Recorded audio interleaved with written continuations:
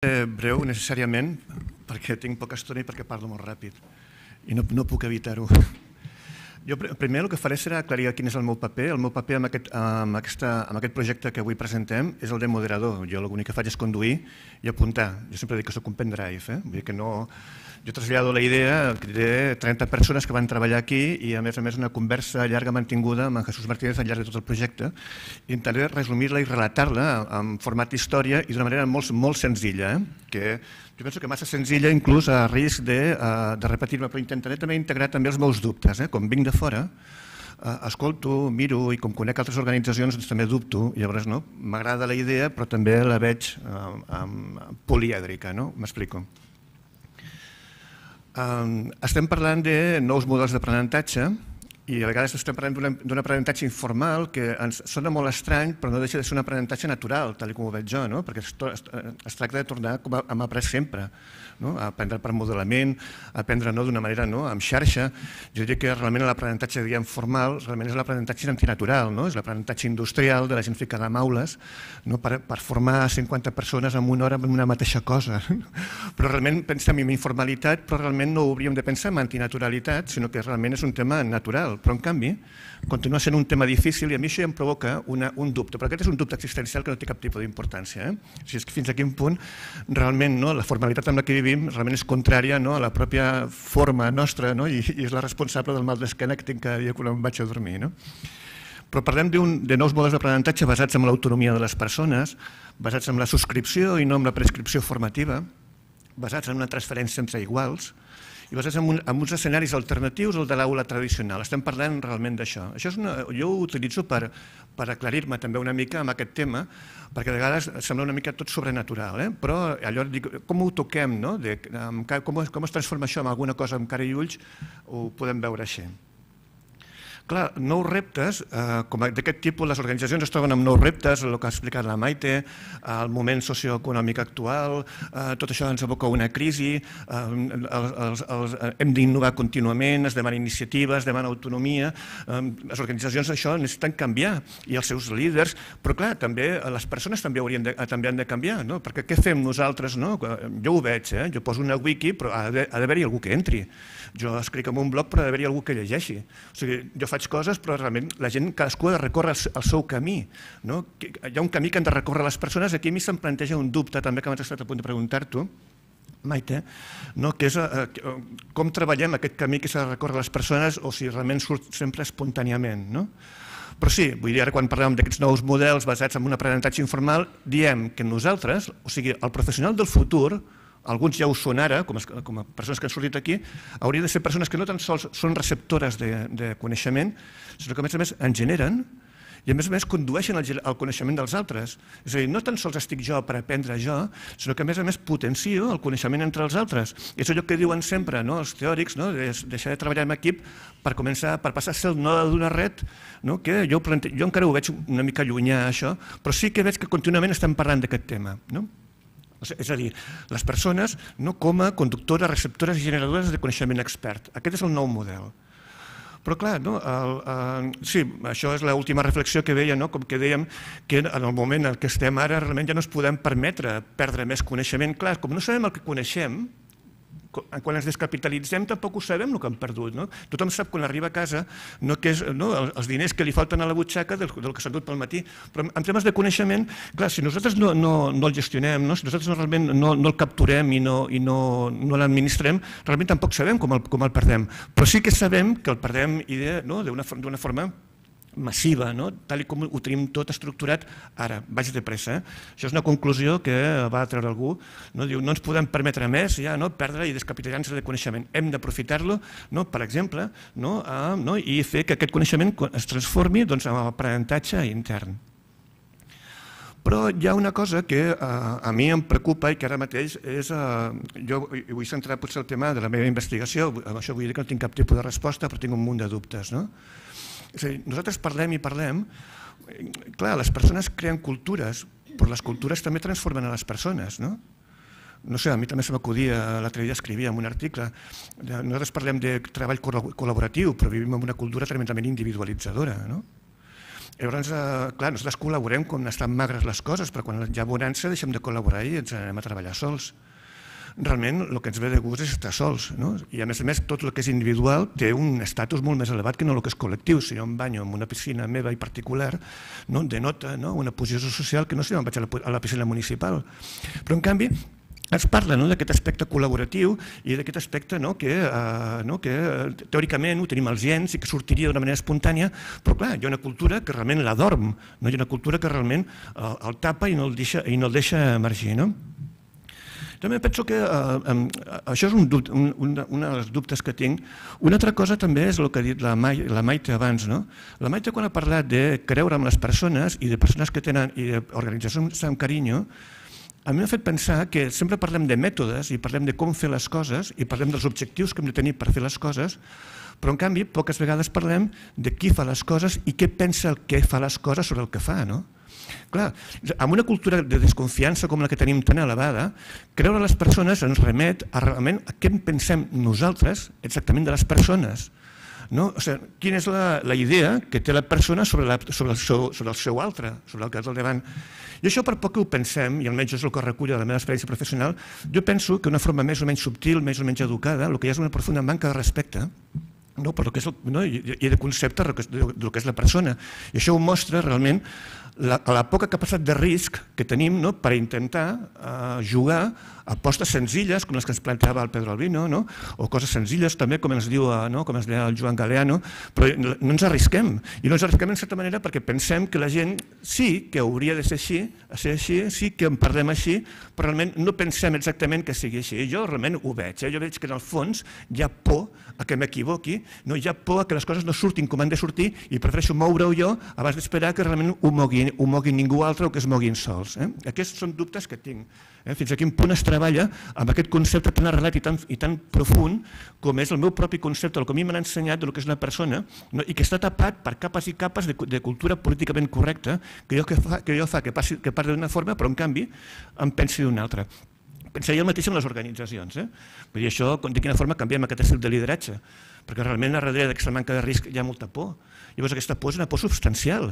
Vull dir, encara que m'ho assegurin, encara que m'ho expliquin, encara que jo ho vegi clar, hi ha alguna, alguna que frena, no moltes vegades, aquesta capacitat d'arriscar-me i empènyer coses noves. Bueno, ho deia simplement perquè no penseu que nosaltres aquí ens hem estat xupant el dit, sinó que el que plantejarem ara és un perfil una mica així és complex i molt polièdric, però que està cuinat no, amb aquests dubtes no, i tenint en compte que realment és una proposta i un prototip que hauríem de desplegar en un, en un futur no, molt a curt termini.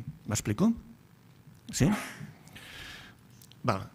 Llavors, eh, eh, vam, vam decidir vam dir, bueno, aquestes competències, o sigui, el fet que en un futur llunyà no tinguem que parlar d'un regal, sinó que cada persona, cada professional hauria de ser un regal, ara que es parla, bueno, ja no es parla tant, però va fa poc estan de moda les competències professionals, no? que si hem de tenir competències en comunicació, si hem de tenir competències en autoaprenentatge, jo diria no, que en un futur no molt llunyà tots hauríem de tenir una competència, qualsevol professional, vull dir, se dediqui o no directament, haurien de, de ser persones regals i les organitzacions haurien de ser regalitzades. No?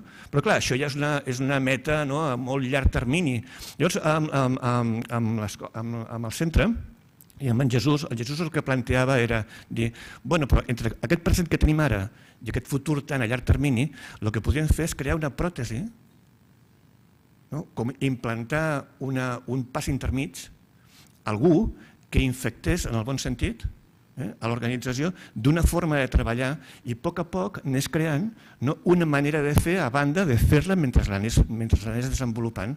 I aquesta és la figura que realment ens vam, ens vam asseure a, treballar, jo ho dic, eh, unes 30 persones que venien d'arreu, eh? venien gent que ha vingut gent de la Generalitat, amb gent de Diputació de Tarragona, que també estan aquí, no? i amb gent d'altres organitzacions no? que es, es van ajuntar, tots interessats en, config en configurar doncs, aquest perfil.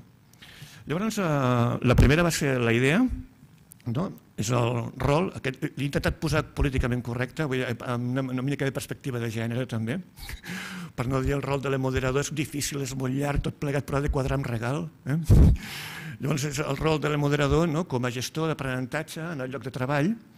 Aquesta, aquesta idea sorgia perquè en un principi doncs, eh, hi havia la, la figura de l'emoderador de la comunitat de pràctica que i, i alguns ja s'havien desenvolupat i havien creat com, com eh, com, eh, com havien, havien tingut una metamorfosi, com en Joan Galeano, ja heu vist que és una mica raro, no? I ha fet, ha fet, coses, ha fet coses així, no? Ha evolucionat, no? Llavors dèiem, de quina forma els, els moderadors i la seva funció actual no? hauria d'evolucionar de, uh, fins a aquest aquesta figura, aquest, aquesta figura que entrés en l'organització i funcionés com aquesta pròtesi entre el present actual i el futur que necessitem. Eh? Llavors vam dir, no? eh, l'emoderador com algú que potencia, etc etc, el que posa aquí a la diapositiva afavoreix i facilita l'aprenentatge en el lloc de treball. Llavors, la feina que hem fet, és que he de parlar del mètode, la feina que, la que he fet no ha estat gens fàcil, però gens fàcil, ha sigut bastant difícil, jo penso que l'han patit molt, perquè no es tractava de dibuixar a ningú que coneixéssim, perquè no, no, no d'agafar un model i simplement intentar ser al màxim de realistes, no? sinó que havíem de dibuixar el paisatge que teníem era, era un passatge desconegut, havíem de descriure un passatge desconegut i possible. Això va posar nerviós a moltes persones. Eh? Hi havia gent que deia, oh, però jo no puc definir no, a ningú que no hi hagi vist. No? Llavors això va generar molta discussió, però va, va obligar a capbussar-se i a llançar-se a la piscina i a treballar d'una forma diferent, que metodològicament és una forma molt incerta. Per nosaltres els metodòlegs treballar d'una forma incerta doncs ens genera molt estrès i per això vaig... No? Aquesta, aquesta pinta així una mica eh, no, constreta, però simplement perquè anàvem canviant d'objectius de metodologia a mesura que s'anaven despertant noves preguntes. Um, jo me'n recordo que fa no gaire vaig veure una pel·lícula on hi havia en dos detectius, entraven en una, anaven a investigar en una casa i un li pregunta a l'altre, diu, què estem buscant? Diu l'altre, diu, no ho sabem, però quan ho trobem ja, ja, ens, ja, ja ho sabrem. No? Llavors aquí eh, jo vaig veure que passava exactament el mateix, o sigui, vam començar a fer una búsqueda de ben bé no sé què, no? però convençuts de que quan ho trobéssim diríem, doncs això realment és el que estàvem buscant. Doncs aquí vam partir doncs, d'un treball totalment inductiu, no? de, què, de què fem nosaltres, què hem vist fer amb altres, què ens han dit que fan alguns altres i què intuïm que s'hauria de fer. I a partir d'aquí no, vam eh, elaborar doncs, el perfil, un, prototip, un prototip. O sigui, el que presentem avui és un prototip. És un prototip que no està aprovat, que nosaltres pensem que hauria de funcionar no? i pel qual es vol apostar no? i col·locar-lo per posar-lo en marxa i acabar de, de polir-lo. Eh? Aquest és el producte que presentem avui. Van, es van identificar quatre rols fonamentals. Miren, quatre rols. Vam dir que aquesta persona podia, havia, no, no funcions, és que la funció queda tan estreta no?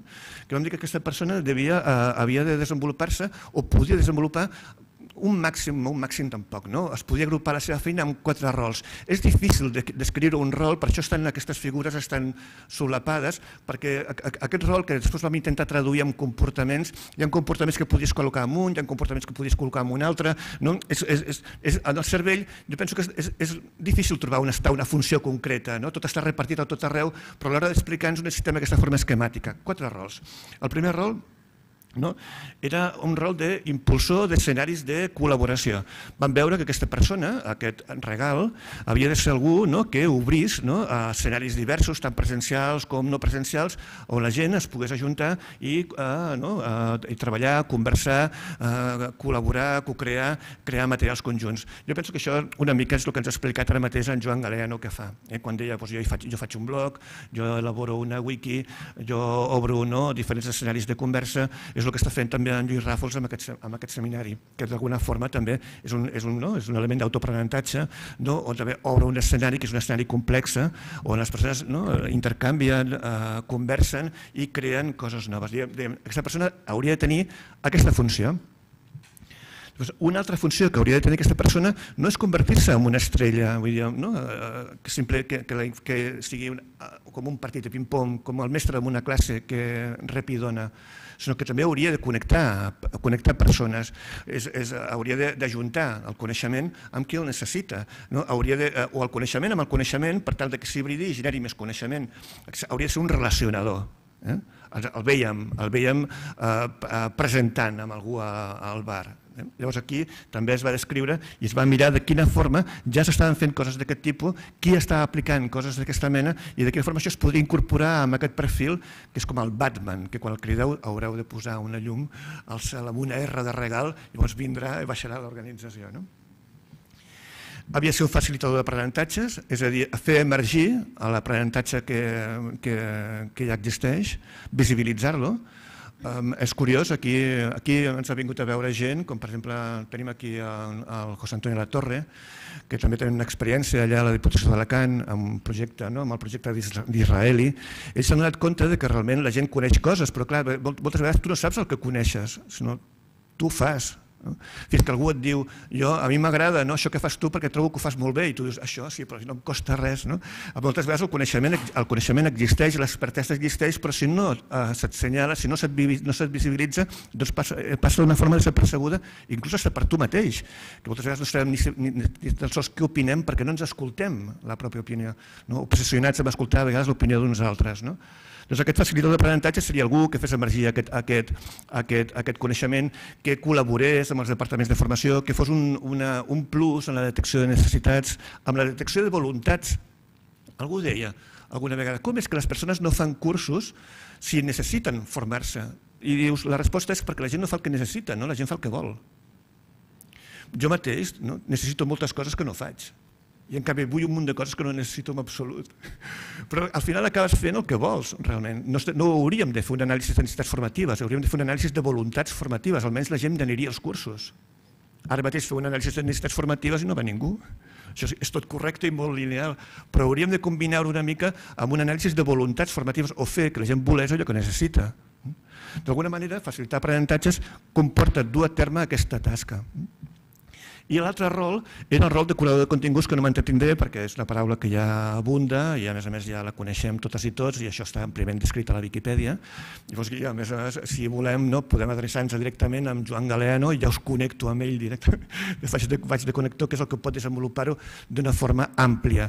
Però bueno, aquesta persona sí que hauria d'agafar, eh, ser un pol d'informació, filtrar-la, aportar valor i distribuir-la a dins, a dins de l'organització, que potser és un dels, un, un dels rols més clars que tenim. Doncs, treballant, treballant, amb aquest tema vam veure que realment això sí que ho entenem, però per fer això has de ser d'una forma determinada. O sigui, qualsevol persona pot dur a terme aquest tipus de coses, dos ostres, no? llavors sempre surt de la personalitat.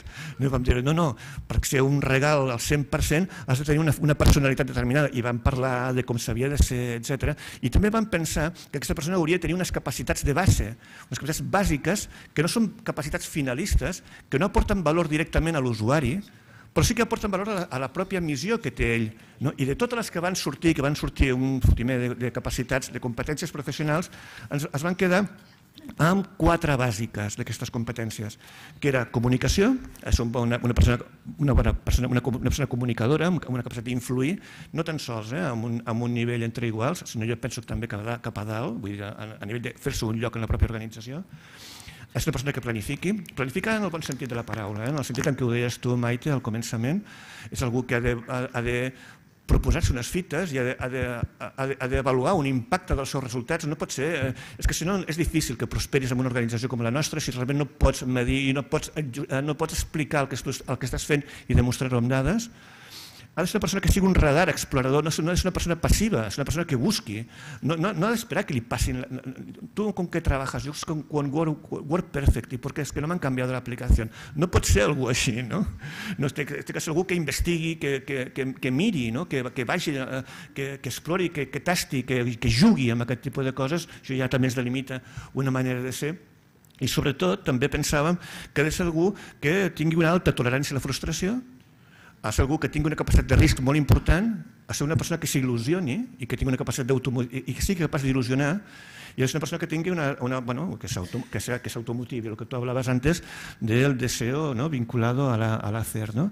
Llavors, o sigui, un, un, un intraemprenedor, que ja sabeu, aquest concepte és un concepte relativament nou, que justament em sembla que van ser un grup de, de funcionaris els que el van, els que el van impulsar, que van dir que els emprenedors no els hem de buscar tan sols a fora, sinó que dintre de les nostres pròpies organitzacions en tenim amb molts i moltes que són emprenedors interns que creen el seu propi, que busquen i se senten proveïdors interns i tracten l'organització com una clienta dels seus propis serveis i impulsen d'aquesta forma. De fet, ara fa poc a la Harvard Deusto va sortir un article que deia que la innovació a l'administració pública normalment no venia de dalt a baix, sinó que emergia de baix cap a dalt i, i, i pels comandaments intermedis. Normalment les polítiques públiques no són polítiques innovadores, sinó que són polítiques com, com conservadores. En tot cas, les innovacions es fan, són molt petites però d'un gran impacte i, no, i normalment venen no, per part dels comandaments intermedis i pugen, i pugen des de dalt. Aquestes persones que juguen, que aposten, subversives, eh?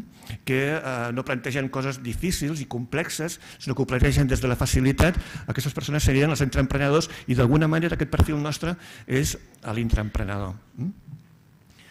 Uh, amb tot aquest material hem elaborat una guia no? que intenta, que busca no? ser una eina que faciliti descriure tot això que he explicat ara, ho trobareu amb això, ara us ho explicaran. Bueno, suposo, perquè no sabem encara si ha nascut aquesta guia, que descriu, orienta, aconsella, connecta i eh, fa, no, ajuda no, a que aquesta persona pugui evolucionar dins d'aquest perfil. I ja, ja està.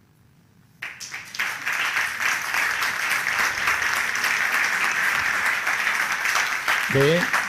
Però m'he preparat una presentació que hi ha molts enllaços interns i em sap greu, però l'hauré de fer asseguda si la trobo. Eh, perdó? No, no, no, perquè serà un embolic, gràcies. Doncs, efectivament, s'han fet dues publicacions arran de tot aquest treball col·laboratiu. Eh, D'una no en parlaré, és un recull d'articles sobre l'aprenentatge informal, i l'altra és aquesta guia, eh, que és el nostre eh, nen petit. Eh, us explicaré com està organitzada aquesta guia, que és un beta, eh, és una cosa que no està tancada i exclosa de millores, modificacions i és viva. Eh? Però eh, bueno, és fruit d'aquest treball col·laboratiu i ha estat reflexionada i pensada. Com, com deia el Manel, hi ha els quatre rols, que ja us ha dit quins són i que tenen connexió entre ells, ja es veu en aquesta imatge, i les quatre capacitats. Eh, el que fa la guia és que defineix cadascun dels rols i de les capacitats d'aquesta manera. Per una banda tenim la... la de, tinc una imatge... Val, la, la, la, diguem, la plana en què surt el rol amb, la, amb les seves característiques tindria un aspecte semblant en aquest. La primera part és una definició de, del rol, eh, concretament, de què estem parlant. La segona part, uns comportaments que són els que fan que puguis parlar de que estàs fent aquest rol, l'estàs desenvolupant. Uh, la següent són les eines, eh? allò que utilitzo habitualment, que la gent utilitza habitualment i que em serveix per donar cos en aquest rol. Són blogs, són fòrums de discussió, mercadillos, etc etc. He de dir que les capacitats de suport només tenen definició i comportaments, però amb els rols anem més enllà. Cada eina té una fitxa que l'explica i la desenvolupa encara més. Aquestes fitxes no va bé. bueno, eh, com que els rols estan, entre ells tenen elements en comú, mm, hi han fitxes que refereixen a diferents rols i estan, llavors vam decidir eh, classificar-les per aquests continguts. Eh? Treball, les que tenen a veure amb treball col·laboratiu, altres que tenen a veure amb entorns webs, bé, ja veieu, dinamització de grups, bla, bla, bla. Les fitxes estan també al seu torn, eh, tenen un format, veurem més endavant. Eh, primer hi ha una, és aquest, eh? s'assembla bastant al del rol. En aquesta primera part hi ha una descripció, unes pautes que serveixen com a orientació per veure com, com s'ha de desenvolupar aquesta eina. Eh, després venen uns aspectes a tenir en compte, cosetes que trobem que s'han de destacar a l'hora de dur a terme aquesta, aquesta, aquesta eina i les, les eines venen a ser la, la, la tercera part del, de la fitxa, parla de les eines relacionades amb, amb aquesta, repetim, eina, però que venen a ser doncs, doncs, aplicacions tecnològiques o, o si fem un treball en, en grup, potser doncs, els pòstits, no? eh, cosetes que hem de tenir en compte. I després, hi ha dos apartats. En un moment donat, ah, m'he oblidat de dir-vos que, que en el, el moment de creació de les fitxes va ser un moment molt creatiu del, del grup de, de, de, bueno, de, de la comunitat que vam fer el regal, no? perquè, perquè fins a aquell moment havíem reflexionat, havíem abocat coneixement, intercanviat, discutit, havíem posat, havíem tret, però al moment de fer les fitxes tothom va abocar-hi allò que habitualment estava fent, que ja estava regalant a si mateix i als altres. No? I va ser molt maco, no? perquè molta gent que millor no havia tingut tanta veu, en aquell moment va participar i va enviar moltíssimes, moltíssimes fitxes. No? Moltes fitxes, algunes fins i tot no estaven previstes, amb la qual els hi vam haver de buscar a quin rol les ubicàvem, per tant, el, el, el viatge va ser una mica d'anada i tornada, no? del rol acabem fent fitxes, però de les fitxes acabem anant cap als rols. No? I, I en un moment donat, quan ja teníem unes quantes fitxes, algú va dir eh, potser estaria bé orientar en el sentit de la dificultat que significarà utilitzar aquesta o altra eina, perquè a lo millor per l'objectiu que jo tinc, amb una miqueta menys d'esforç aconsegueixo el mateix resultat i per tant si puc valorar l'eina en funció de, de la dificultat, de l'energia que em suposarà, doncs és útil no? saber-ho. I ens vam inventar aquest apartat d'aquí, que és el de criteris d'ús. Aquests criteris d'ús són quatre, vale? i els hem, a més a més, estan valorats amb estrelles, Michelin, no? de una a tres. Una seria la, la més senzilla no? i l'altra no? en funció de la dificultat. Quins són aquests quatre criteris d'ús? La dedicació, en atenció, en temps, la dificultat tècnica, en el sentit de les eines que he d'utilitzar si són d'un estàndard bàsic eh, a nivell tecnològic, per exemple, eh, seria d'una estrella, si necessito que algú m'expliqui alguna cosa que potser no sé, però el company ho sap, doncs tindríem una, una dificultat mitjana, i si ja necessito la, un curs de formació o un expert, doncs tenim una dificultat alta. L'altra és la dificultat organitzativa, en relació doncs, a la logística que necessitaré, a les resistències de l'organització, també va de menys a més, d'una a tres estrelles, i, i el quart criteri, que és aquest estrat d'aprenentatge, no? que és una mica el resultat que n'obtindré a nivell de consolidació de coneixements.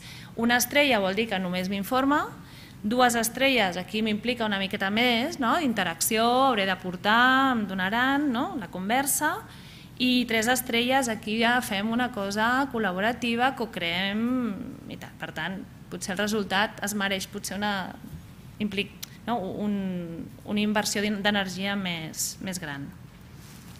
I el, el que també porta la fitxa, eh, us he dit que eren cinc, cinc parts, és l'apartat la, de referents. Vale?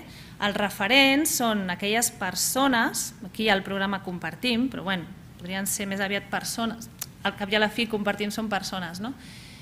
que ja estan fent ús d'aquestes eines a la seva pràctica habitual i que poden donar-nos un cop de mans, poden ajudar i són persones a les que podem mm, recórrer perquè sabem que, que ens respondran i ens donaran, farem aquest aprenentatge no? de nivell. I bueno, us he posat uns quants exemples dels que surten, no? he amagat algunes adreces, no? però bueno, mm, una mica els referents són aquests. Eh, us he de dir que la guia té unes 70 pàgines, que té unes 35 eines i en canvi té 25 fitxes metodològiques, eh? perquè no estan totes desenvolupades, perquè hi ha persones, a lo millor entre vosaltres, regals que podeu aportar-les. Eh, és una guia oberta, és una cosa dinàmica, com ha dit el Manel, és un prototip, és un beta, no és un recull de protocols que s'han de seguir rajatable, sinó tot el contrari. És una guia d'orientacions, de, de pautes, que cadascú s'ha de fer seva, veurem si aconseguim que us la feu vostra i que, i que l'anem la, ampliant, millorant i cadascú millor fent-se doncs, bueno, la seva miniguia, no? amb allò que tenim a casa. Eh, bueno, aquestes són la forma de les fitxes, veieu que cada apartat té la seva icona identificativa.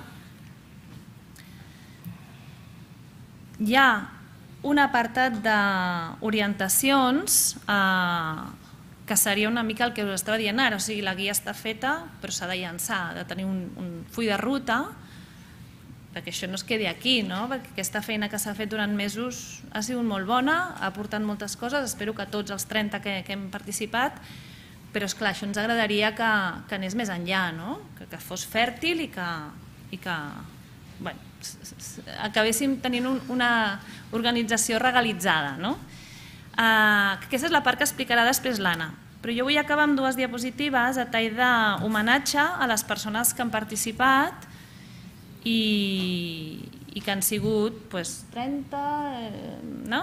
manades i vingudes i, i és això. Jo crec que ho he dit tot. Moltes gràcies. La guia, això, com doncs, estic encarregada d'una tasca una mica aventurosa, eh, explicar-vos com, com pensem implantar el regal a l'organització. Eh, primer de tot, doncs, com, com donar cos i vida a aquest prototip eh, del que parlava Manel, que ens hem imaginat.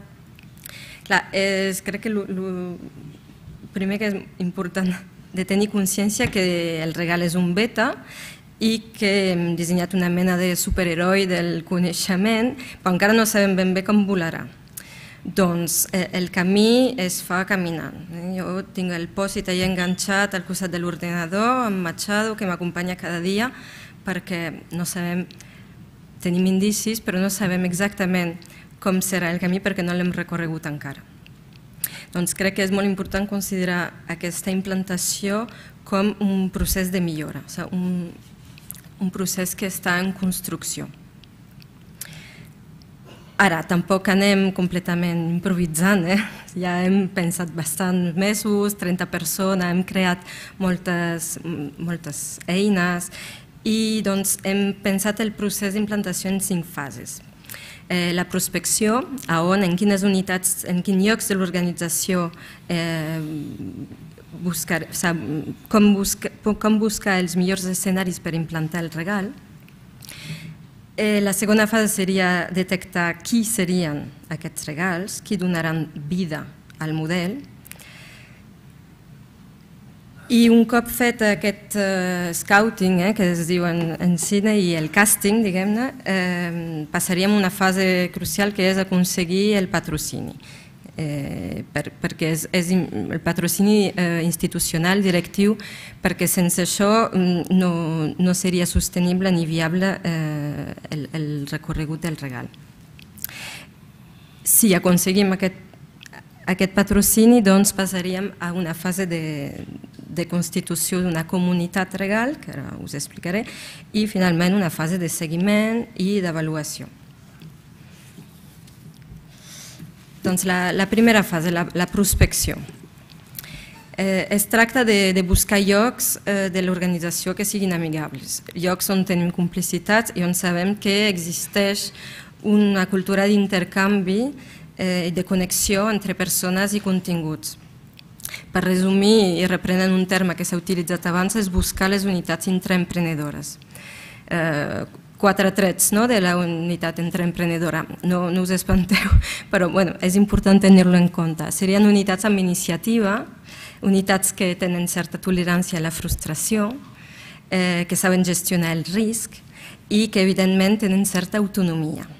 Estem emprenent un camí, tenim brúixoles, tenim eines de navegació, però eh, hem de tenir certa predisposició a l'aventura. Ens podem equivocar, ja, hem de donar-nos dret a l'error per poder eh, implantar aquesta, aquest regal. Doncs com buscar el, les unitats intraemprenedores? Per exemple, alguns indicis serien eh, unitats on hi ha una alta demanda de formació, on hi ha una alta freqüència d'assistència a congressos, a seminaris. D'altra banda, eh, unitats on eh, sabem que hi ha formadors, professionals que ja exerceixen com a formadors interns. I, evidentment, amb l'experiència del compartim que portem des de fa 8 anys, eh, les àrees on s'han desenvolupat les comunitats de pràctica segurament seran uns planters privilegiats, també, perquè ja han recorregut aquesta experiència de, de gestió del coneixement. Doncs, eh, d'aquesta fase de, de prospecció, faríem un, un informe d'avaluació que després tornem a, a utilitzar per a la, la fase del patrocini. Com tenim a on, ara falta saber qui, eh, doncs la, la detecció de les persones que podrien exercir de, de regal eh, clar, he dit abans, eh, tenim una figura dissenyada que és un, una mena de... Bueno, una mica un ideal i no pretenem trobar persones que compleixin amb tots, amb els quatre rols. La idea és trobar eh, persones que tinguin un o dos rols naturalment i després en un menor grau els altres rols, no? impulsor de col·laboració, connector de persona, curador de continguts i facilitador d'aprenentatge amb la proporció de, que tinguin cadascú després aniran millorant. Un prototip està fet per aportar-hi millores. Doncs per detectar aquest, aquests, aquestes persones eh, tenim diferents eines. La primera seria un qüestionari d'autoavaluació que, bueno, en el qual estem treballant Eh, I després es completaria amb altres eines. Eh, no, tenim, no està tot escrit i en, encara, encara bueno, hem de començar a implantar per saber exactament com, com detectar-los, però eh, l'important seria que altres persones de l'organització mm, mm, recomanin, eh, prescriuen qui podrien ser els possibles regals. Doncs amb aquest càsting, que no és exhaustiu, exhaustiu eh? seria una, si torno amb la metàfora cinematogràfica, seria com trobar els protagonistes, amb qui podrem començar a, a implantar el, els regals.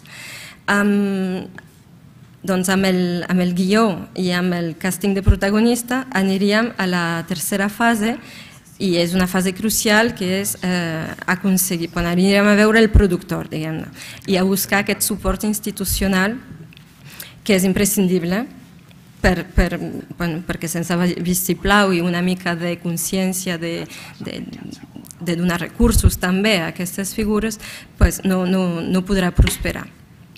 Doncs què li posem a la taula? El, en, en aquesta fase anem a veure els, els, els responsables de l'organització i posem doncs, la guia, hem vist abans, que és una eina molt pràctica, ha explicat mm, Glòria, no? que està molt ben descrit com fer, de què serveix un regal, com treballa i eh, l'apartat teòric que no ha presentat però que, bueno, que és l'altre fascícul que hem, que hem editat on és una part, bueno, un recull teòric una mica que recopila les avantatges de l'aprenentatge informal. La segona cosa que posaríem sobre la taula és l'informe d'avaluació que mostra eh, pues, per què les unitats que hem escollit són unitats interemprenedores eh, els indicis, no? ja, mm, és una fase on, bueno, és un informe on es pot ja mm, presentar xifres, diguem.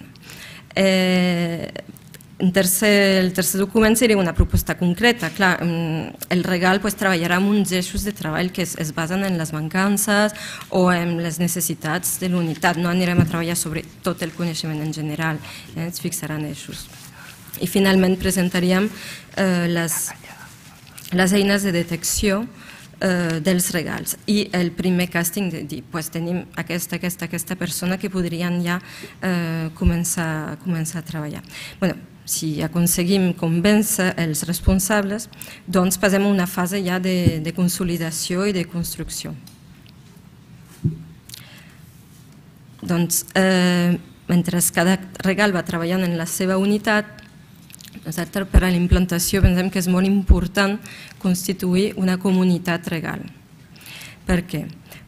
Per justament acabar de que entre ells els regals que treballen a diferents llocs de l'organització puguin intercanviar coneixement i eh, reforçar punts febles i alhora transferir mm, coneixement, estratègies sobre el que més controlen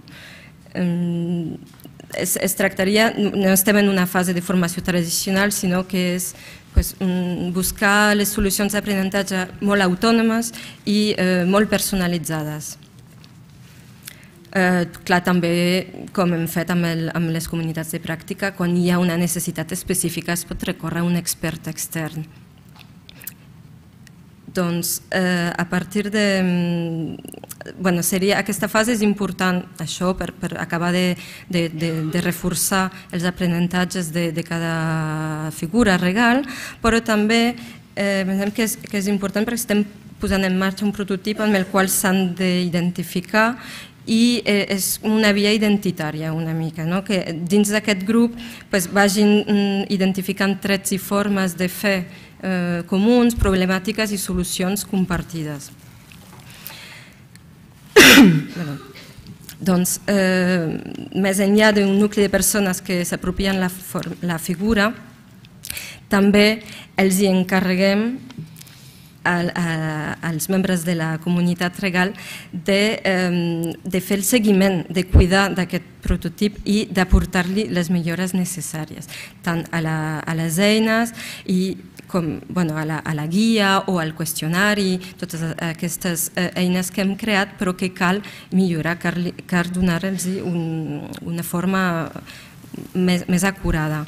I també els encomanem doncs, fer difusió del, de, la, de, de, de lo que s'aconsegueix, no? dels resultats. Doncs, aquí seria l'última fase on pues, eh, es tractaria que els, el, els membres de la, de la comunitat regal eh, dissenyin eh, com mesurar els resultats. És una pregunta que ha sorgit abans. Els resultats, les mètriques, Clar, cal, cal avaluar amb, amb xifres, encara que a vegades, com deia Joan, mm, és una mica difícil. Les coses qualitatives són difícils de, de, de mostrar, però eh, això és una feina que, que queda per fer, eh, d'acabar de, de dissenyar les mètriques de, de, per, per avaluar el retorn de la figura regal i amb la tasca de difusió, clar, és fer visibles el, el, el regal per, per, per garantir el seu èxit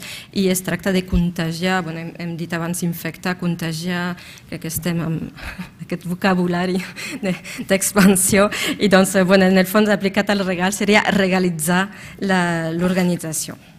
Ara, com heu vist, és un procés eh, obert, adaptable, mm, tothom qui vulgui participar i enriquir aquesta, aquest projecte, aquesta, no volíem utilitzar la paraula, però bueno, no sé, és una utopia, però una utopia que jo estic convençuda que acabarà quallant.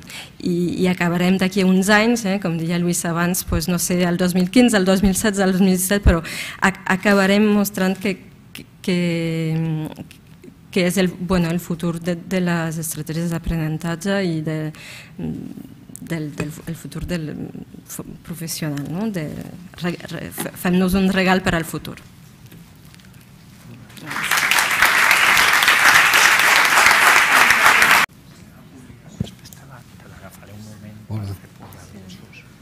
Bueno, molt, molt prudentment eh, no ha sortit eh, una mica una definició clara del paper dels responsables no? de, les, de les estructures. No? Ho dic perquè bueno, jo indirectament entenc que aquí avui tal, la realitat de l'administració és que hi ha una politització d'aquests responsables, que hi ha, parlem de, de moltes administracions i eh, com veuen ells tota aquesta aquesta activitat, no? com veuen ells els regals i aquesta, aquest nou futur no? que, que hauria d'haver dins l'administració. No?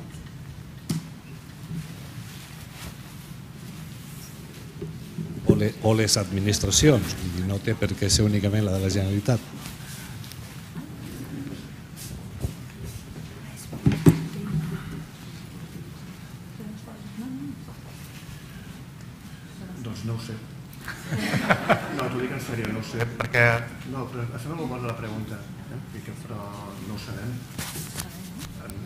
Aquí eh, jo crec que hi ha de tot, no? però hi ha un tema important, i és, eh, jo crec que és un tema que ha surat avui en, en, en tota la xerrada, i és que la, eh, nosaltres parlem d'un personatge autònom i amb iniciativa, i informal, i aquestes tres paraules poden provocar una convulsió brutal en qualsevol organització. No? Vull dir, tu llences aquestes tres paraules i fan una crisi epilèptica, eh? perquè la iniciativa, l'autonomia i la, no, està molt renyida per, amb aquest model imperant dels que parlava abans la, la Maria d'Arceles i que penso que encara continua imperant per aquesta por a la que jo em referia després. No? Però no sé, jo penso que aquí hi ha, hi ha, hi ha haver diferents apostes. Jo crec que aquí hem de parlar de persones. Jo, a l'hora de parlar de, de... Això ja em va passar fa poc també amb una, amb una xerrada que vaig anar amb un grup de directius i eh, vaig veure que jo m'equivocava quan, quan m'adreçava a un col·lectiu perquè eh, m'adreço a un col·lectiu per comoditat i llavors faig una, els igualo a tots no, però realment en aquest, aquest col·lectiu la gent està molt diferent en la posició d'una mateixa idea uns dels altres i respecte a la mateixa idea. Jo penso que aquí, doncs, eh, bueno, en principi, eh, jo no seria, no seria, pensaria que hi haurà una resistència lògica perquè és un tema nou, és un tema molt incert, és lliurar no, un perfil a dintre, que un perfil que provoca moviment. Eh, a veure, no sé, avui hi ha, hi ha gent que tenia que venir aquí i no ha vingut perquè no ha pogut venir no els han donat permís per venir. Això és una, una dada que tinc jo en el meu mòbil. Diu, Manel, diu, disculparàs que no hagi pogut venir, però és que no m'han donat permís per venir. No? Jo, llavors, clar, I després eh, jo crec que encara tenim coses que superar, però també és veritat que penso que sí que hi ha poros a l'organització. Sempre n'hi ha de poros. No? Llavors, eh, el, el futur d'aquest tipus de perfil no és, un, no és una, una, una operació a cor obert, que es faci en general, sinó és trobar els poros aquells en els quals puguis col·locar-lo i que i pugui ja generar no, una activitat i, i tenir un impacte. Jo crec que el secret està en això. De fet, no fa gaire, amb un compartim d'aquí, em sembla un que venir el Genís Roca fa molts anys, no sé quin era aquest. Quin era el... el... Sí, no era un compartim, era una sessió de... Una sessió web, era va, va, parlar sobre, va parlar sobre la innovació a l'administració pública i llavors van, va, va, van haver diferents opinions no? i entre altres estava que la, nosaltres per innovar la paraula, és, la paraula no es pot dir així, més a justícia, no? no es pot dir aquí perquè pot sortir manillat però s'ha de ser un pèl subversiu és a dir, no demanar permís, sinó demanar perdó. No? Llavors és, és entrar en aquelles unitats petites que es deixin, que es deixin treballar, que s'arrisquin a contenir una petita explosió dins de les seves pròpies parets sense que soni molt a fora per si de cas. No? I després, en funció d'això, escampar-ho i vendre-ho bé.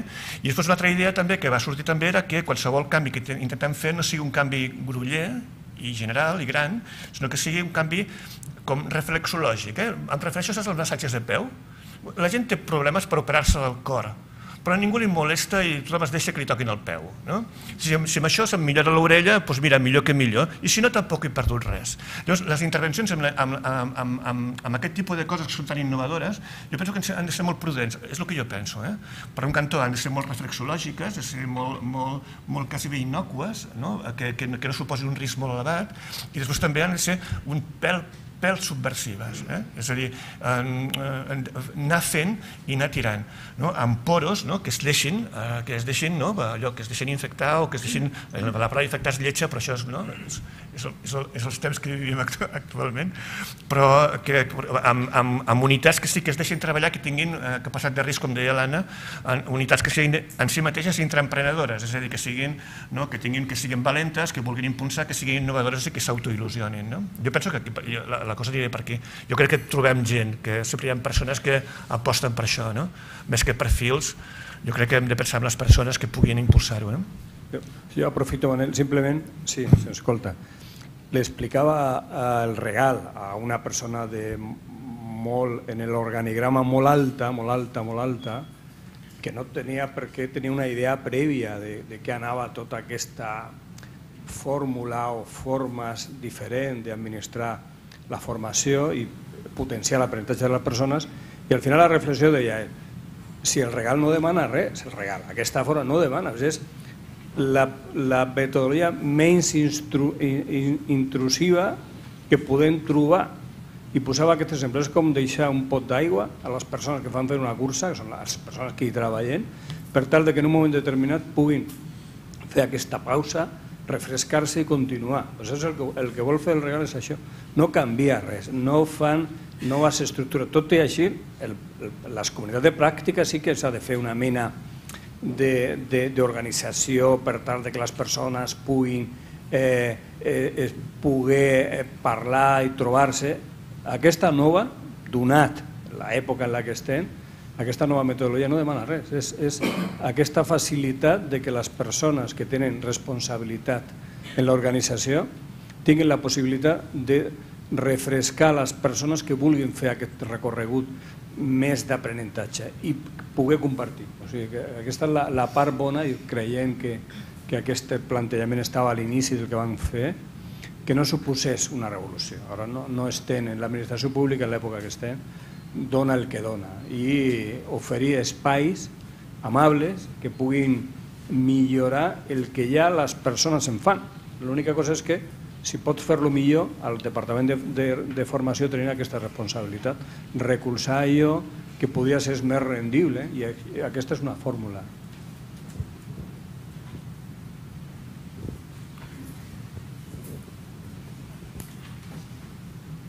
Jo us volia dir que la, les dues publicacions estan ja penja, publicades perquè algú, si algú de vosaltres li interessa, nosaltres enviarem un enllaç als materials a tots els que heu vingut demà, suposo, però si hi ha, perquè ho sapigueu, que a la pàgina web del Compartim hi ha un titulet que posa publicacions, jo ho he fet amb el mòbil però amb l'ordinador no em deixa.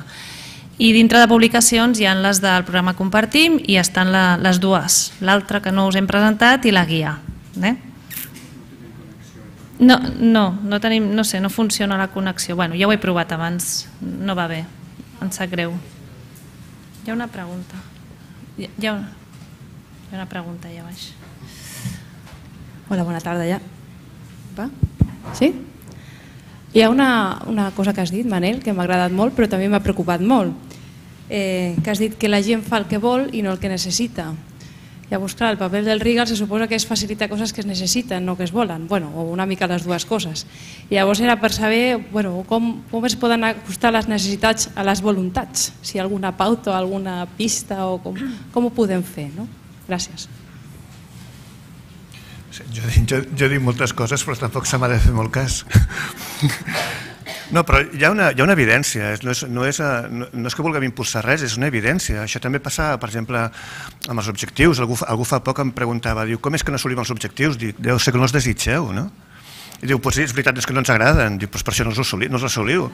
Clar, és que, però és que són molt lògics i, i depenen d'oportunitats que tenim, el, però no les voleu. No, doncs no ho feu, clar, no, no. Llavors hi ha una realitat i és el fet de que sí que és veritat que nosaltres perseguim, és, és una mica el que deia també la Maite al començament de la seva exposició, aquest model lineal que ens ve de l'il·lustració, que pensem que tot es mou com una màquina no? i que tot depèn d'una causa i efecte, pensem que tot es pot explicar que dos i dos són quatre, però amb les persones no ens passa això.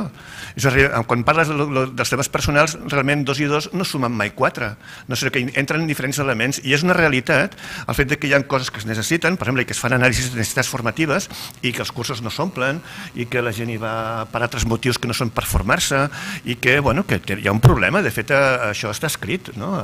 darrerament, diuen hem de passar passar de la, de la, de la prescripció a la subscripció. Hem de fer que la gent doncs, no, no dir-li el que necessiten, sinó hem de fer que la gent faci allò que, que què? Que tu vols que facin. No sé, saps? Ja, eh, clar, és que jo fer, fer que algú faci el que jo vull que faci és una mica... Bueno, és el que fem contínuament, el que volem fer contínuament, quan parlem a vegades de sistemes participatius, no? Fer una mica que em contestin el que jo vull que em contestin. Jo formulo una pregunta, però ja la formulo d'una forma determinada perquè em contestin així. Jo crec que aquesta idea, és la que ens ha portat amb aquests models que tenim ara, no? a, a pensar d'una forma, a actuar d'una altra i actuar en funció de necessitats, però no tenir en compte les voluntats. Potser a l'hora de tenir, potser la forma de reclutar aquestes voluntats o, o, o que coincideixin, potser sí comptant amb les persones des d'un bon començament. O sigui, és que les persones vulguin allò que necessitin, és a dir, que siguin conscients realment del que els hi fa falta no? i allò que els fa falta ho necessiten per poder tirar endavant. No? Llavors, potser no hauríem d'entrar a participar en moments finalistes, sinó que els hauríem d'entrar molt més abans.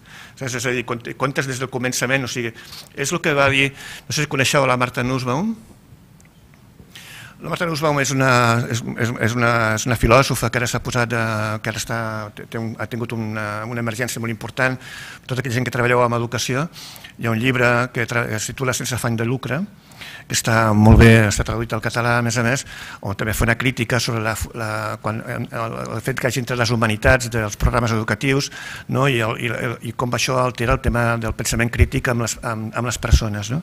Llavors ella, un moment, en un moment determinat, ella rescata una frase, una frase del, del Milgram que diu, si fa no fa, si me'n recordo, diu, les persones es comporten d'una manera irresponsable quan creuen que no són responsables d'allò que han de fer sinó que hi ha un altre que es fa, que es, que es fa responsable d'allò que han de fer. Diu, la gent es comporta d'una manera irresponsable quan veuen que hi ha un altre que es fa responsable d'allò que ha de fer. I d'alguna manera, quan la vaig llegir, vaig pensar, dic, ostres, dic, nosaltres dic, quan agafem amb un, amb un organigrama i veus un grup de gent, li poses a dalt un, un responsable, amb el qual automàticament els transformes a tots en uns i responsables. I a sobre del responsable aquí poses un altre responsable. No? I així en plan broma vaig pensar, mira, els organigrames són com estructuracions, eh, com organitzacions estructurades d'irresponsabilitat. Al final n'hi ha un de responsable, que és aquell que sap el que es vol, no que és el que està dalt, i que vigila i que aboca molt control a que tot el de baix es faci com ell vol que sigui, perquè tots bàsicament són irresponsables. I això que és una broma, d'alguna manera no ho és tant. Jo penso que aquesta idea és la que circula, les posa les organitzacions i fan no, que hi hagi uns sistemes de control molt grans i que els sistemes participatius siguin molt residuals i vagin molt cap al final. Però jo crec que el fet que una persona vull dir, coincideixi el que necessita amb el que vol és que sigui responsable de si mateixa en totes aquelles esferes en què tu vulguis que, que prengui decisions. I llavors, jo crec que la suma és, és la lògica cau, no? Quan algú tria allò que vol i no allò que necessites, perquè en certa manera és, és inconscient, no?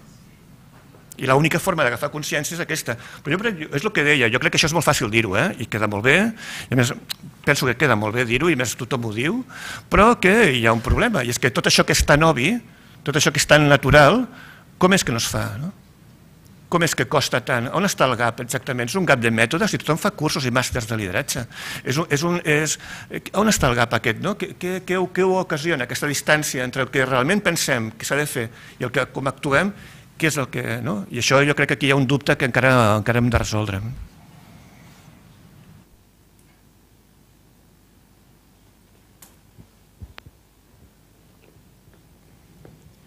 Sí, eh, jo volia eh, esmentar una, una mica des del meu punt de vista.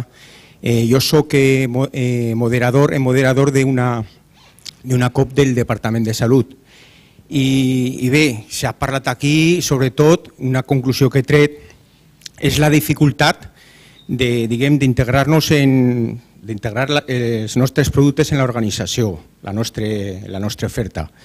Eh, des del, ja dic, des de la meva experiència, eh, des del Departament de Salut, eh, jo crec que l'equip de gestió del coneixement ha aconseguit eh, grans fites, bàsicament eh, formant un equip de gestió, eh, em sembla que són set persones, cohesionat, han fet sessions per oferir els nostres productes l'any passat, de tal manera que, per exemple, els nostres productes ja estan, ja estan penjats en la web del Departament de Salut i, i bé, hi ha més coses.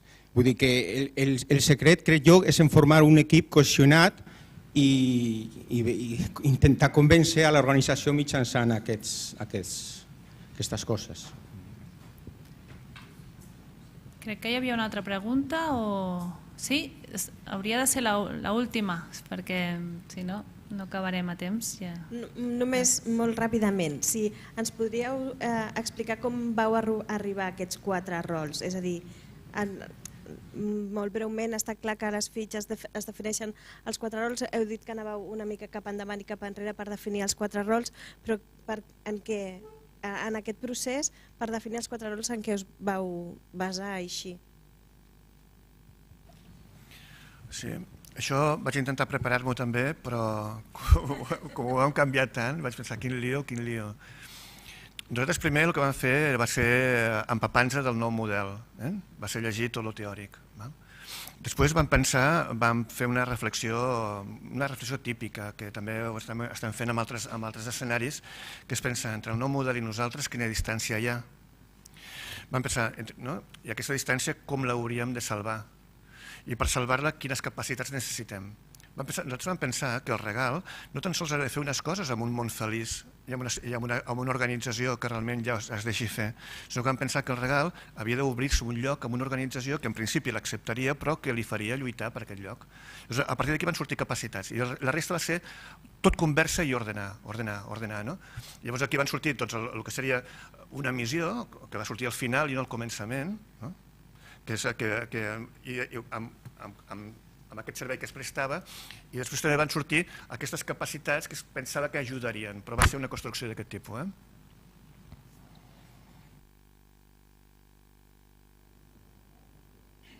Sí, sí, sí, doncs hem